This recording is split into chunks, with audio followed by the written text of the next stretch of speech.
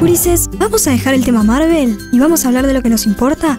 ¿De qué, Pau? No sigas con los escritos que recién salimos. No, David, me preocupa Eugenia. ¿No notaron cómo está últimamente? ¿Vieron lo flaca que está? Ella me dijo que está yendo al gimnasio porque está gorda. ¿Qué?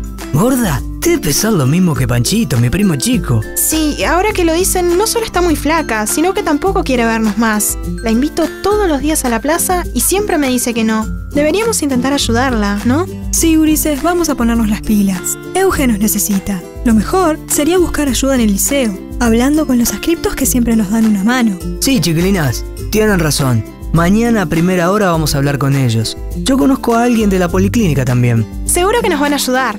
Conoce tus derechos y promovelos.